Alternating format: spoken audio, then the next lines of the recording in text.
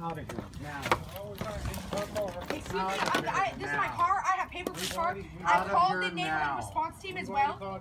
Excuse me, I've already Out of here called. I've called the neighborhood response team. So unless you're the police or the neighborhood You got about team, one minute. I called the neighborhood response team myself. No, you. Uh, Yes, you I did. did actually. As a Oh, matter of three fact, would you like to see my phone? over here three times. Would you like to see my You phone? guys need to go. Do you want to see my phone? Where's the phone at? Your phone. I'll call him again while you're just standing here. This would be for the fourth time No, today. you're just looking for So- parts for drug. No, I'm taking my part off of my out. vehicle, sir. So you can just leave, call the police. As a matter of fact, I'll call myself. Okay? So We'll call him. I'm going to. Like, I'm gonna call the police. I'm gonna call the No, I mean- response team. I mean, like, I'm not doing anything wrong.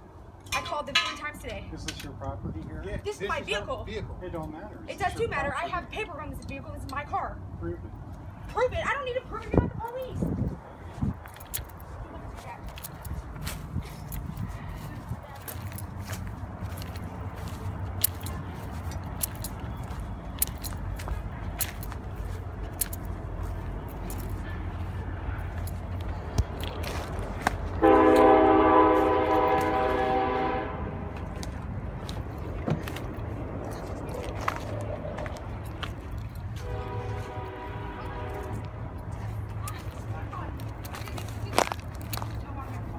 No, you know you can hear it, right? You wanna hear it? You wanna hear it? How does it look over there? It's all there. hear it? Here. It's all secure.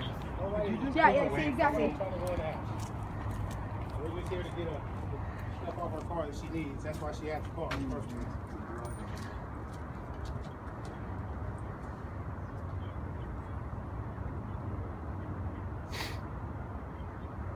Nobody trying to go in the house. We You don't. just came over here and told us that we can take the shit off the car. I don't know why you want to. I don't mind. Oh, these guys insisted on seeing for themselves. Okay, well you can hear this. You hear this, right? You hear this? That's understandable. I don't care. I know. I'm not. Neighborhood response team phone number. Listen, Hi, this is Desiree Lamar. I'm calling you again for like the third time.